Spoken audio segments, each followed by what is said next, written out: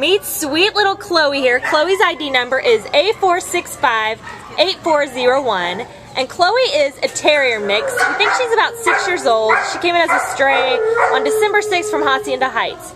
And Chloe weighs, we think about seven pounds, and she has got the softest, softest coat and the most soulful little brown eyes. She is um, a little nervous. She she was she's scared being at the shelter, but as you see, once she learned to trust you, she just warms right up and she just wants wants to get and receive love from someone.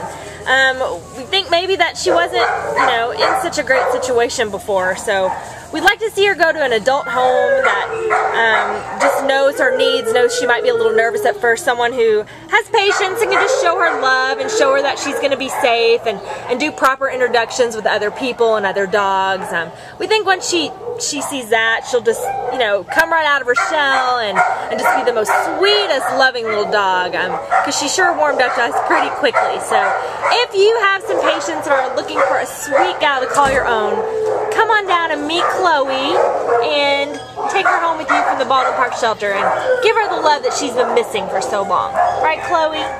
Bye, sweetie. Oh.